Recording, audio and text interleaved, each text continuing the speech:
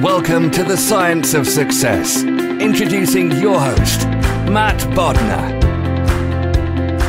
Welcome to the Science of Success, the number one evidence based growth podcast on the internet, with more than 3 million downloads and listeners in over 100 countries. In this episode, we discuss the female and male brains. Are they different? If so, what are the differences and do they matter? We look at the science behind all of this and unlock key insights into how you can improve your health, happiness, and relationships by using these simple strategies with our guest, Dr. Louann Brizendine. I'm going to tell you why you've been missing out on some incredibly cool stuff if you haven't signed up for our email list yet. All you have to do to sign up is to go to successpodcast.com and sign up right on the homepage on top of tons of subscriber only content, exclusive access and live Q&As with previous guests, monthly giveaways and much more. I also created an epic free video course just for you. It's called How to Create Time for What Matters Most even when you're really busy. Email subscribers have been raving about this guide. You can get all of that and much more by going to successpodcast.com and signing up right on the homepage or by texting the word smarter to the number 44222 on your phone. If you like what I do on Science of Success, my email list is the number one way to engage with me and go deeper on what I discuss on the show, including free guides actionable takeaways, exclusive content, and much, much more.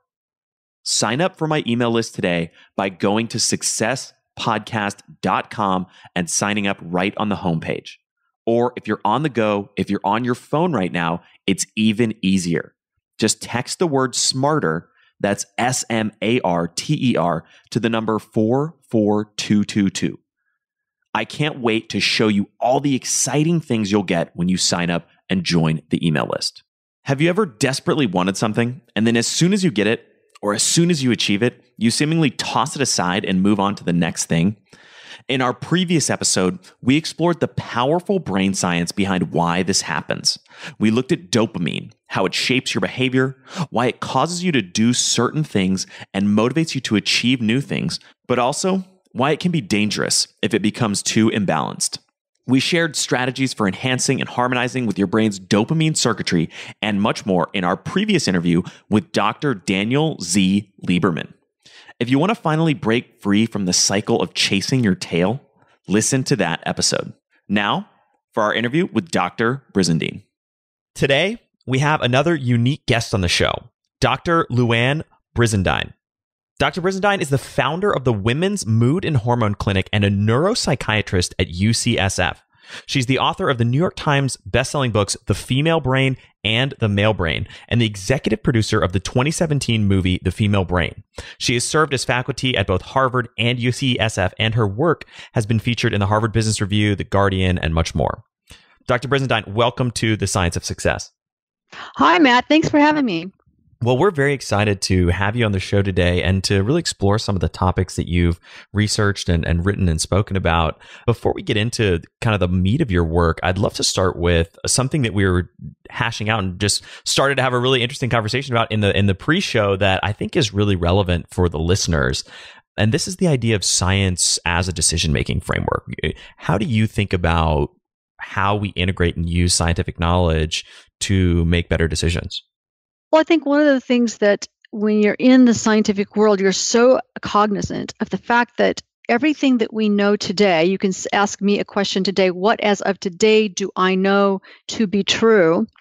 And um, I can only tell you what I know to be true today, but I can also tell you about, well, we're not quite sure about this and we're not quite sure about that. So we're doing more work on these things so that, you know, maybe five years from now, we'll have some different answers for you. So it's always this, this issue of sort of hedging your bets, even about what you know to be true today. But in science, I think it's confusing sometimes to the public because we are, as scientists, always hedging our bets. And we also do know three or four things that are kind of lurking in our peripheral vision that may do something to change our theories a bit or to change what we think is scientifically true a bit. So we're always kind of, as scientists, holding what we know is true today, but that tomorrow it may not be quite as true. But for the public, it feels like, well, if something is sort of hedgy, if someone's hedging on it, an expert's hedging on it today, what can we really believe? You know, is science really true or is science not true? And so I, I think that's an unfortunate conclusion that sometimes the public makes because you throw the baby out with the bathwater. You don't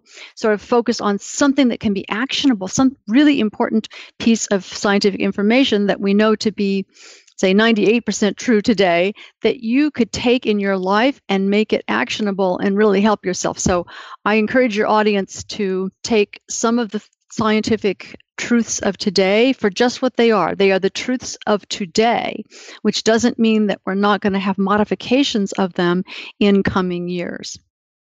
And what would you say to somebody who thinks to themselves or even has a friend or family member who who says something like, "Well, science gets stuff wrong all the time. I'm just going to ignore it or I'm just going to go with my gut or I just don't believe that." So I would just say that of course science gets things all wrong all the time and they get many things wrong. A lot of things they of course get right, but the process and the progress of science is constantly questioning okay is this thing that we just showed in this experiment okay how true is it? And is it true in all situations? So let's do another set of 10 experiments to test that out to see if that theory is true in other situations. So science is always constantly the whole goal of science is to test test test to make sure that what we think is true really is true. So we are constantly questioning ourselves as scientists questioning our theories that is just part of the progress of science, but it is the, the heart of the scientific process itself. You know, we're kind of getting out on a tangent a little bit, but it, to me, somebody like a Carl Sagan is such an intellectual hero of mine because he really popularized and taught and, and shared people the power of the scientific method and constantly questioning yourself, constantly testing your assumptions, and how that can be a very useful and impactful way to think about the world and to think about your life. Absolutely. I, mean, I think that um, Carl Sagan is also a hero of mine because um, of the way of thinking about science and the scientific method. And I think that I think this is why it's kind of important for all of us to have at least a little bit of scientific learning through different parts of school, is so that we can we kind of understand how scientists think and their and scientists never claim to have the absolute once and for all truth about something. Scientists are always experimenting and trying to move the ball further and further down the field. And ultimately that that questioning and that constant testing gets us to stronger answers and moves us towards a more robust understanding of what is really true. Absolutely. And I think, you know, especially in i mean i'm so aware of that in my field which is looking lots at the brain connections and the brain aspects of gender differences in the brain because the male and female brain are more alike than they are different. After all we are the same species right matt? I think so. No i'm just kidding. Yes. And so there's so much involved in that. And what we what we do know is that you know from the moment of conception when that sperm enters the egg if the sperm is carrying an x the baby will be female. If it's carrying a Y, the baby will be male. And so from the moment of conception onwards, we are we are gendered, if you will. Well, you're going to be male or female. And at eight weeks of fetal life, the male tiny testicles start to put out huge amounts of testosterone that marinates the brain and body of the male fetus, changing the brain and the body into male. So by the time we're all born, we're either born male or female. And that doesn't mean that we're obviously not different species, but we are a version. We are a version of humanity. You're you end up being a male version of humanity or a female version of humanity. Most everything works just about the same, but there's a whole bunch of different things and different parts of the circuits, like the area for sexual pursuit is about two times larger in the male brain right from the get go. And that's made during that fetal life and is then triggered by all of the testosterone surge at age 10, 11, 12, 13, 14, 15, you know, in males during male puberty, that whole system is like turned on like a light bulb. And it's important to know that that's completely the natural normal unfolding of of the of the male sex that's that's how you guys are wired in females we are you know we are developed from that moment of conception until we're born without testosterone. So the absence of testosterone lets our circuits develop in the female or the default mode. The default mode in a way is the female circuitry.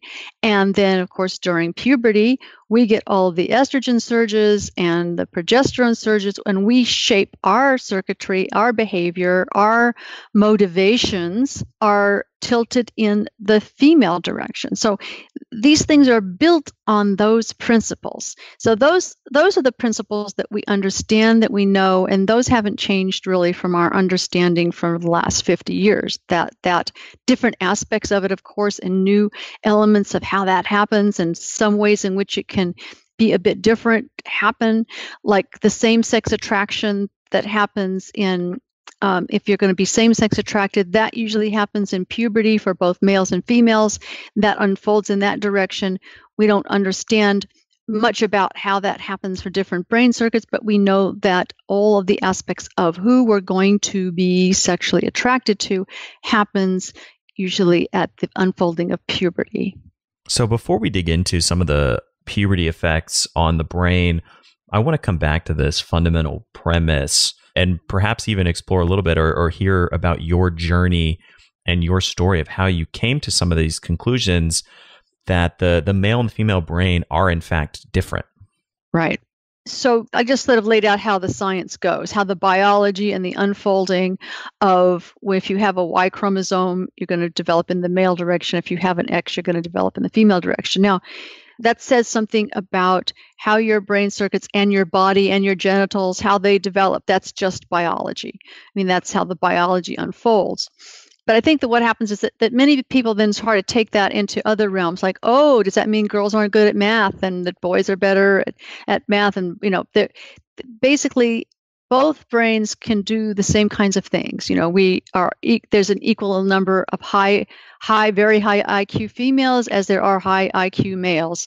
So the aspects of intelligence and the aspects of other parts of how the brain functions aren't different. The male and female brain are, like I said, they're more alike than different. After all, we are the same species. The parts that are different have to do with reproduction and basically the means of reproduction or the the seeking out a sexual partner to reproduce those are made in different categories male and female. So that's kind of how we all kind of get started in life. That doesn't necessarily mean that the only thing we are is male or female. I'm you know i'm a female who like happens to really like science um, Matt, you may be a male who, you know, maybe, maybe I don't know, maybe you like to, maybe you like uh, costumes or fabrics. I don't know. I mean, you know, it doesn't. What, whatever it is that you happen to be interested in, doesn't necessarily only have to do with which sex you are. So, tell me more about these changes or these differences in the brain and how it impacts male and female behavior, especially around reproductive behavior? So I think one of the things that I like to talk about, and I talked a lot about that in my book, The, the Female Brain, which I think I know a lot. When a lot of guys sort of read that, they say that, especially chapter two, which is the the teen girl brain uh, chapter, really explains a lot about kind of what it's like to be a teen girl in terms of looking at it from the brain perspective. And for example, as the estrogen progesterone you know cycles start to happen after a girl goes through puberty all kinds of things get stimulated in her brain that are like she gets very interested in her appearance and i mean you probably know some some both of you guys know some girls in your life that are like they're really into dressing a certain way. They want their shoes to be a certain way their hair their makeup. And you know i can remember myself at that age like i would read in those days it was like the 17 magazine or all the girls magazines. I wanted to know what you know what it what it would be like. I wanted to look like I wanted to be hot. You know, I wanted to be I wanted to be have males be attracted to me. And what was I going? You know, how did I do that? How did I figure that out? Girls are trying to figure that out all the time because part of their biology and their hormonal triggering of the motivation, the behavioral motivation in their brain to look hot and attract the opposite sex, if they're opposite sex attracted, is basically to spend time on their appearance figure out how, what that's going to be like how you're going to get guys to be attracted to you is kind of the the subtext of that urge and that motivation. I mean it's almost like the the hormones that trigger your hunger. You know these things are sort of built in biologically. We don't think that they are. We kind of think oh I mean, I know a lot of guys that I've talked to there in the age, the teenage age group, they feel like, you know, and I have a 29 year old son. So he gets like, Mom, I just can't stand it. All these girls with all this makeup and all the time they spend on this and their hair. And he says, just, you know, he says, why are they doing that for? It doesn't make them look any better. You know, that, so that's from a guy's perspective. but from the women's perspective, it's very different. It's eh, trying to attract male attention, is how the female brain is wired during those stages of a female's life. And on the flip side, the male at age 13.5 is the average age of male puberty. And we kind of measure that by the, the age of the first wet dream is 13.5. So we know that all the systems are working by then. Girls are about age 12.1 if they're Caucasian. Asian girls are a little later, like about age 13. Um, African American Hispanic girls are a little bit younger, more like 11. So female puberty happens, say, between somewhere between ages 10 and 13, and their circuits are going to light up in wanting to be spending more time being attractive. The males, on the other hand, once their testosterone goes up, you know, from about 15 or 20 up to a level of 300, 400, and of course, by the time you're about 19 years old, your testosterone level can be up to the level of 800 to 1,000. So it really it has a very rapid curve straight up during ages like 13, 14, 15, and that turns on all of the circuits that I call the that area for sexual pursuit. Guys are like they are tracking they're tracking things. Every pair of breasts that walk by catches their attention. Um, all kinds, uh, you know, all kinds of of sexual interest all over the map for boys and their thoughts of sex come rapid fire anything anything can make them think of sex and that's just you know that's a teenage boy's um, motivation interest in their biology is all you know hooked into that as it were so that's how the hormones and biology are motivating their behavior. I mean, it's not the only thing they're doing. It's not that they're not going to do their homework or they're not going to, you know, practice whatever sport they're doing, but they are going to have this other thing. It's almost like having, you know, you walk into a sports bar and the TV is this is always on in the background. It's like this kind of like whole area for sexual pursuit is always on in the background after a male goes through puberty. That's just how you're norm- normally naturally wired. So I think that it's interesting when females when girls find that out you know that that's that that's what's going on in the male brain. They're quite shocked actually.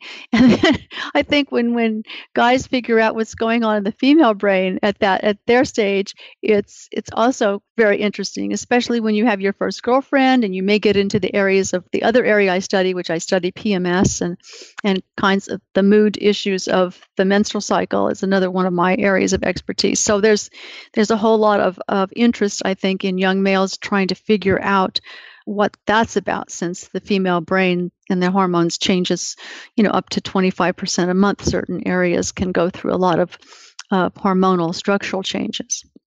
And during these this sort of onset of puberty these hormone levels are spiking to forgive me for probably botching the numbers but i mean it's like 10x 20x 50x huge spikes, right, for both men and women of different hormones. Yeah, so I have a I have a graph on page 33 of my book called The Male Brain that takes the the male from age like about 11 years old to 11 years old to 15 yes that curve goes like straight up like times 25 you know? It's just a, a 25 fold increase in in testosterone levels. So the you know that's the testosterone is going to be making male beards grow, hair growth, you know, makes your Adam's apple grow larger, your voice is going to change and get deeper, penis gets larger, testicles get larger, all the male character sexual characteristics get larger. The muscle mass your muscle mass starts to change a lot because testosterone is a huge growth factor for muscle. So males are, you know, just like turning into the male body that we all know and that's that's happening at that age. So how did your research change or shape your perceptions on whether or not or which gender roles are socially constructed and which are more biologically skewed? That's a great question because that gets us into to the taking it out somewhat of the biology, but not as much as you might think, but putting it into so how much is the construction of which gender we are happened by the way we're raised or the way culture raises us, like the um, phrase "boys don't cry," right? Sort of like "man up." Boys don't cry. When you say that to a four-year-old who's just, you know, fallen down on the soccer field and like rip the rip the skin off his knee, you know, that is a cultural overlay onto like telling that little boy what's acceptable and what's not acceptable based on his gender. And so those kinds of or or just maybe allowing encouraging little girls or comforting little girls more when they cry let's say. The meaningfulness of those kinds of behaviors towards children based on which sex they are don't go unnoticed. We all will respond to what we're encouraged or discouraged from doing you look at three and four year old boys in preschools. A woman named Eleanor Maccoby down at Stanford worked for about 40 years in the preschool setting, taking detailed research of all the behaviors of the boys and girls who played in this their play groups. And you know, little boys would very quickly kind of start to like start. They would sit down with the little girls maybe and play what's called this role play type of thing where the little girls say, okay, you be the daddy and I'll be the mommy. Or you'll be the doctor and I'll be the patient. And little boys will sit and go through maybe one turn or two of that. And then they're like up and wanting to run and do stuff with the other, like, come on, guys, let's go get them. They want to fight the enemy. So that these behavioral modalities, about, you know, 90% of little girls are more interested in what's called relationship play at that age than little boys are. Little boys are much more interested in kind of like, you know, fighting the enemy and they get more interested in explosions and basically having much what's called rough and tumble play. No one really taught them how to do this, it's been discovered, but this is just part of the way boys tend to be wired, or at least 90% of them. And they are then culturally reinforced for that and or maybe the 10% of little girls who prefer the rough and tumble play they may be discouraged a bit from that. So i think the way things have changed in the last 25 years is basically having more um, allowances for just having the individual child develop along whatever path they choose rather than trying to impose sort of the, the cultural mandates on them of how a little girl versus a little boy is supposed to behave. But that being said those things that are culturally mandated either by your family or by your school or by your peers or by your your peers families whatever the source of it is don't go unnoticed. And we start to craft who we are in terms of our personhood based on our gender by these experiences we have that either provide us an outlet to be encouraged or discouraged from certain behaviors that are considered gender specific you made a comment, and this might be pulling from the depths, and, and forgive me if this is, is out of left field, but you made a comment in your Google talk, which was which was some time ago, that you said that nature versus nurture is dead, something around that. And I was curious that that particular line really stuck out to me, and I wanted to know what you meant by that. And uh, I think it might fit into the context of what we're talking about now. I'd love to hear you elaborate on it. Exactly. I mean, the the old theory was that you know that everything was nurture and not very much was nature, right? That everything, the gender was completely socially constructed, and that everything was nur- based on nurture, whether you became a boy or a girl. And of course, the biology that I just told you about is is very clear, and that you know that that is nature.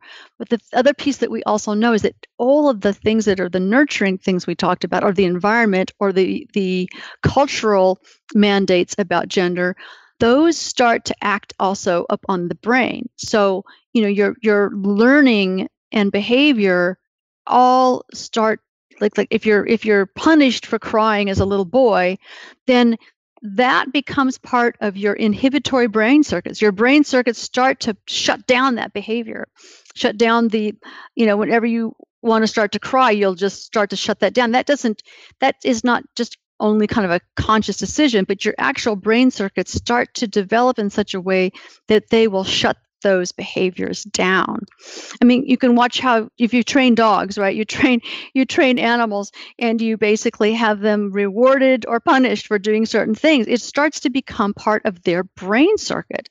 So that's why the how you're nurtured or how your culture mandates certain things it becomes interwoven into the brain circuits. So that becomes nature nature. So that nature and nurture are really not different. They are the same thing. That's why the, the nature nurture dichotomy is dead. Pavlovian conditioning is such a powerful mental model. It's really interesting to hear how it can play into childhood development and even gender roles to some degree as well. Absolutely, it's it's part of. I mean, p- part of that is true for all of us, and that's why you know really trying to enhance each individual's um, to maximize each of our own creative and intellectual potential. You know, is what I think as a society, you know, we we are trying to work towards with with all children. That would be the, certainly the ideal to work towards.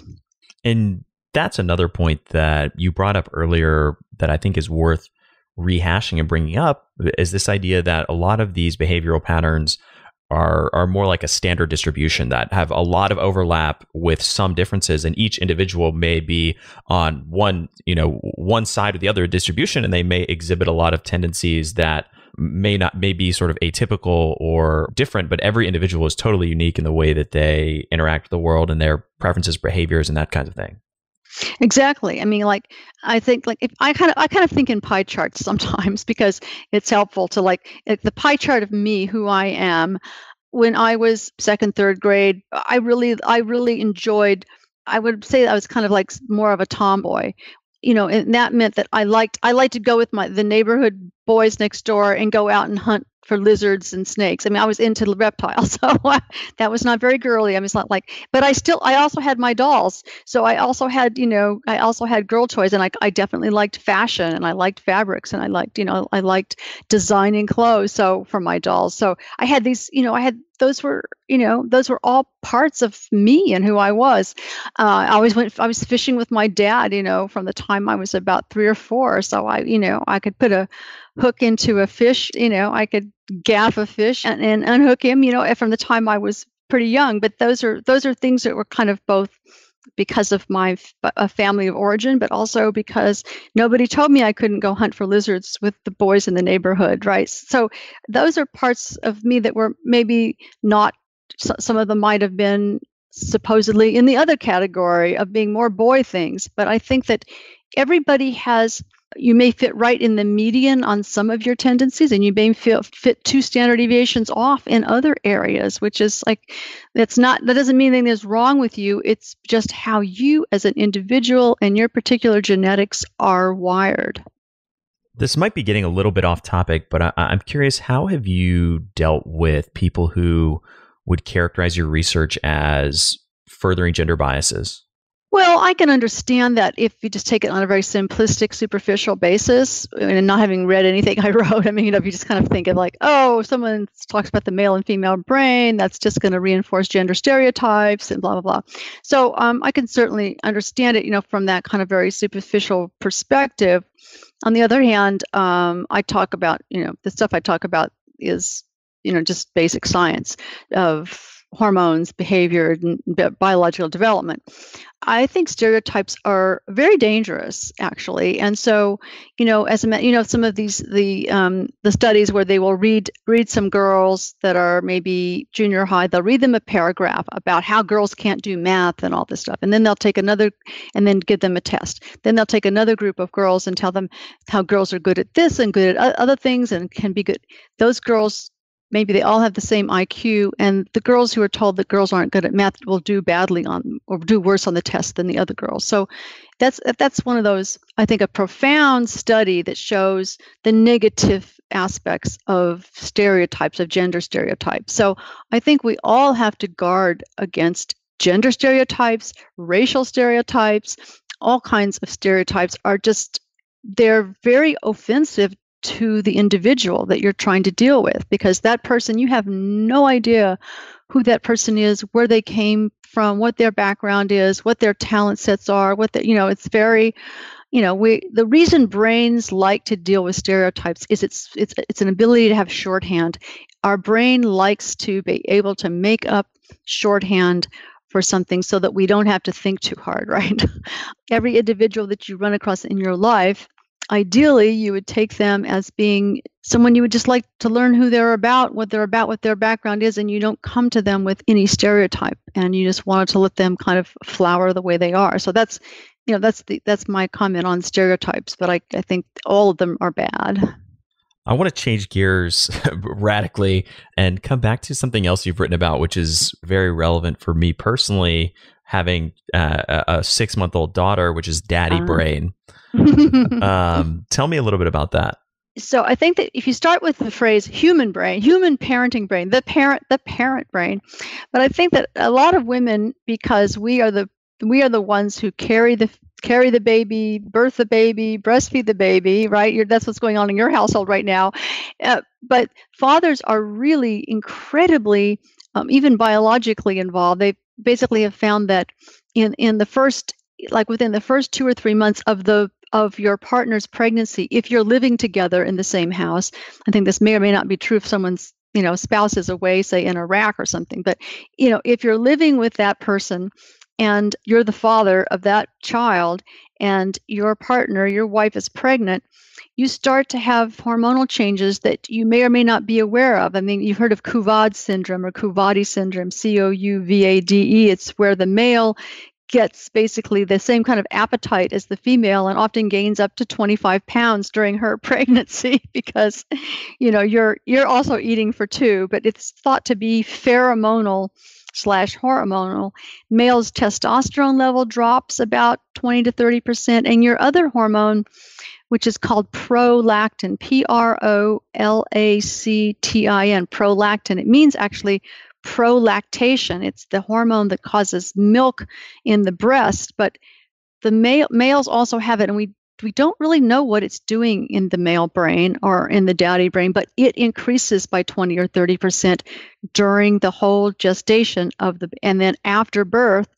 So right at about six months, yours is sort of starting to go back to your pre-levels. But during that first six months of the of the baby's life, if you're living with that child, your testosterone level is still a bit low and your prolactin level is very high. So the thinking is that it's really triggering the male brain, the daddy brain, to become protective and basically to become parent. And you've probably seen those studies where they they measure the ability of the female brain to hear an infant crying. And if the female has had babies before, um, if she's already had children versus someone who hasn't, she hears the baby's infants cry a lot more. and It's a lot louder. It's a lot, that she w- wakes her up more than a female who's never had children. But if you take a male who's never had children, he hardly hears the crying at all. But you take a dad, like, you know, once you've had the experience as well, it's not quite as robust or as for a female brain in terms of hearing an infant cry. But once you've been a dad, your ability to hear infants cry based on MRI studies of crying infants, that whole auditory circuit in your brain just lights up like a Christmas tree when you hear babies cry. But beforehand, before you ever became a dad, it was kind of it was kind of flatlined in your auditory circuits for hearing the baby cry. So I think that's very interesting to watch the actual formation of the daddy brain. I've definitely experienced that. I used to be able to sleep through a hurricane and, and now I'm like a ninja. I can hear my daughter crying from like half a building away. I'm like, what was mm-hmm. that? Was that a cry? you see, there you go. You're you're proof positive, Matt. It's isn't it amazing though that you watched the changes you've gone through and just the I don't know if you've just felt like that, you know, you just just you're in awe, you're a totally different person. And so you said after about six months, the testosterone levels start to re- revert back to normal. Is that correct? Yes, yes. So you you should be right on the you should be right on the threshold. Very exciting. I don't know that. I mean, that there's all kinds of theories about why that happens, whatever. And it's like, you know, the comment is also often made, well, that keeps him, you know, he's not going to be out chasing skirts. He should be home, eh, like trying to build the nest for his child. You know, that's the way Mother Nature made it, so that you'll, you know, stay close to the nest and be set up to be more nurturing and protective of your of your child. So that that all makes sense. That's not obviously not every male does that, but about 90% of men have this phenomenon happen to them. If you're like me, you have tons of skills and abilities that you want to master. And that's why I'm excited about our sponsor for this week, Skillshare. Skillshare is an online learning community for creators with more than 25,000 classes in design, business, and more. Skillshare is an amazing resource to discover countless ways to fuel your curiosity, creativity, and career. Whether you're looking to discover a new passion, start a side hustle, or gain new professional skills, Skillshare is there to keep you learning, thriving, and reaching for new goals. They have some incredible courses around drawing, creating, and even an awesome course that totally piqued my interest around visual thinking and how to use visual thinking and visualizing data to communicate ideas more effectively. There's some amazing, highly detailed, and really, really interesting courses on here, and I highly recommend checking Skillshare out. Join the millions of students already learning on Skillshare today with a special offer just for Science of Success listeners you can get two months of Skillshare completely for free.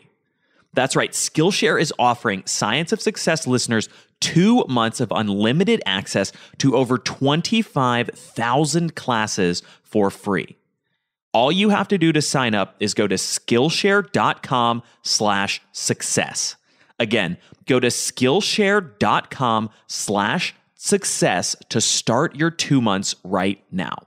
Skillshare is awesome. I highly recommend going to sign up, check it out. There's definitely a course or probably a number of really high quality courses and classes on exactly what you want to master in your life today.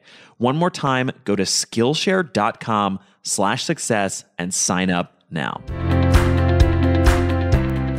Another topic that you've talked a little bit about, and I'm very curious to dig into, is how video games affect the male brain. Well, that's that's these days a very very big question, and things are kind of like also related to the amount of minutes or hours you do this thing, right?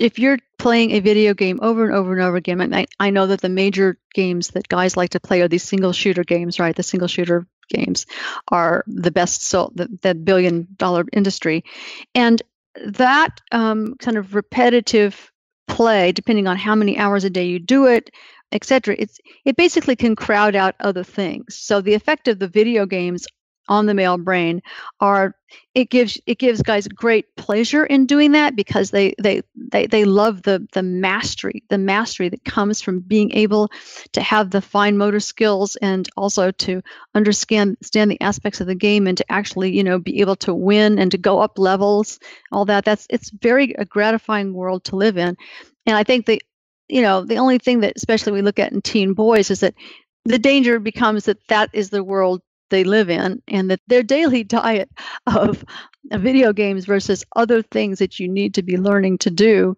in you know, say your social social world or even in physical activity world get downplayed a bit when you're doing too many hours of that.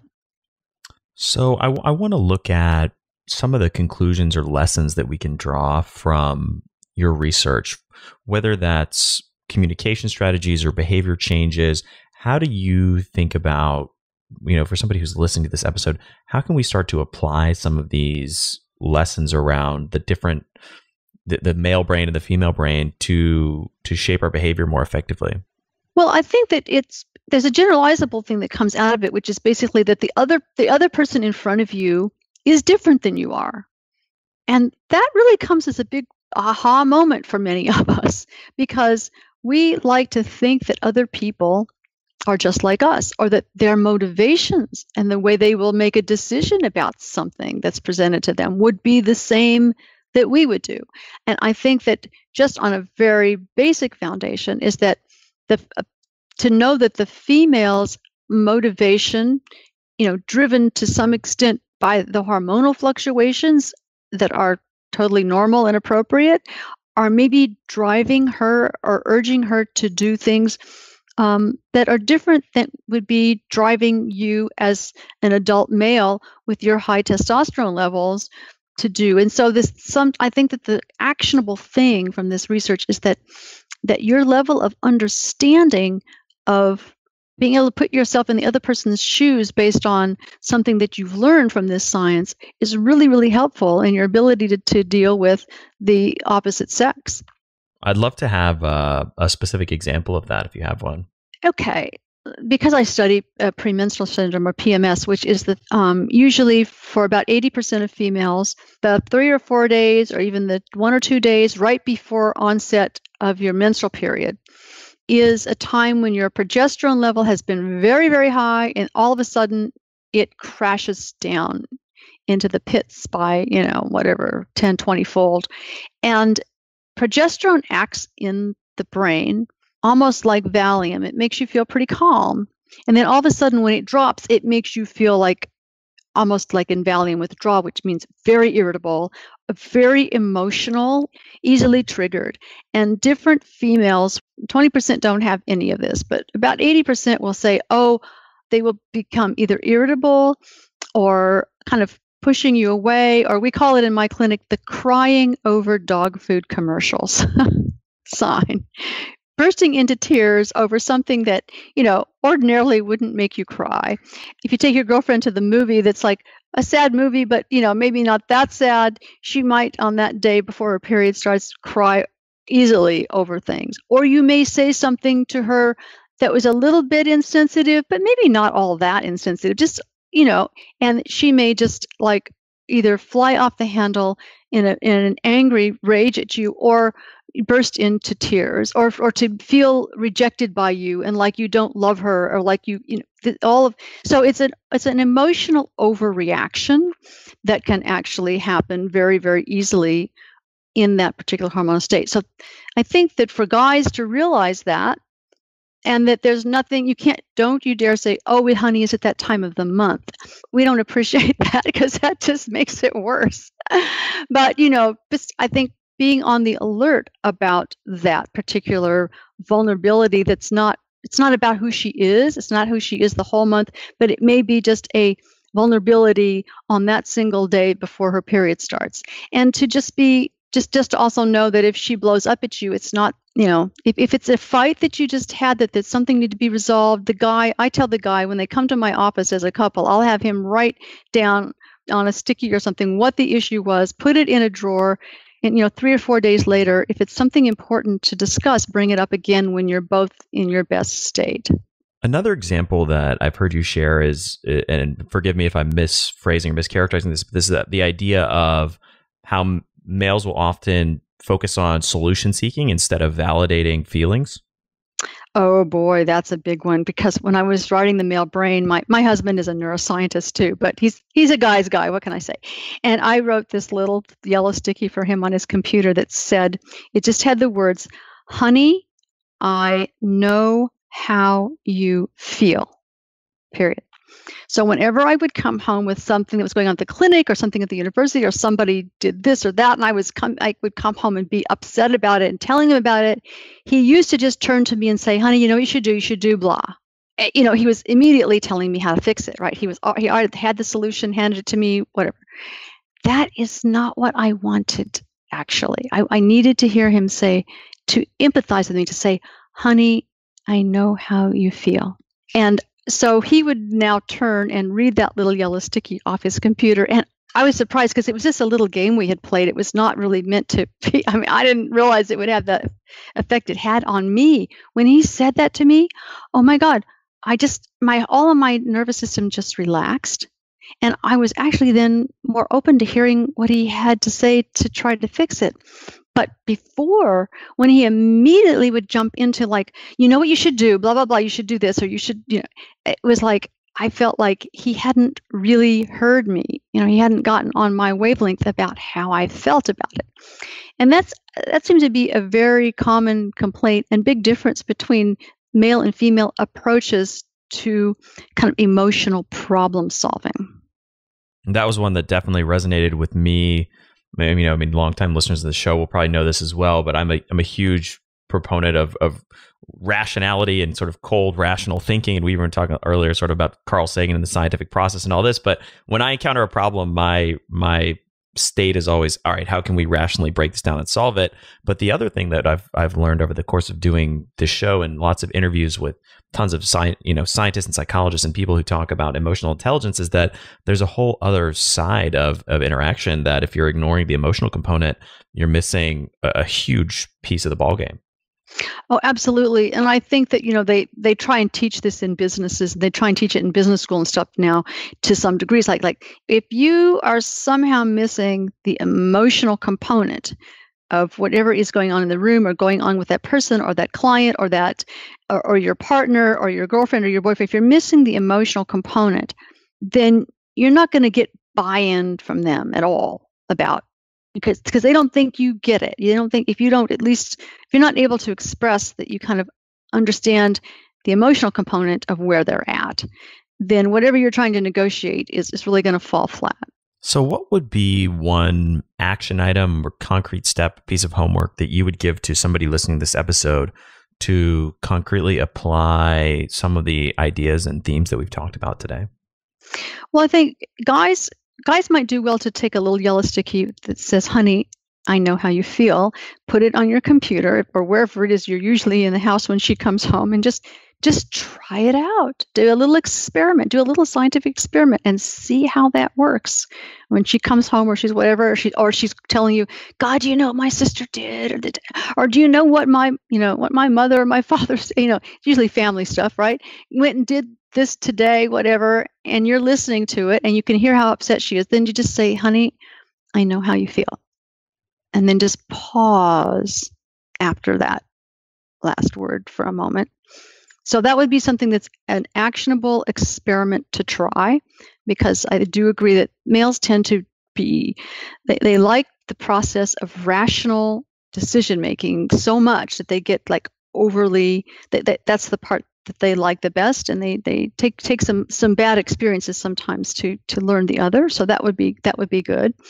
And i think just to understand that maybe the other person i mean for women it's very important to realize also that the male testosterone levels are always about 10 times what yours are and that makes sexual interest and sexual drive on the male's part on average if you're the same age as your partner about three times more in the male than in the female.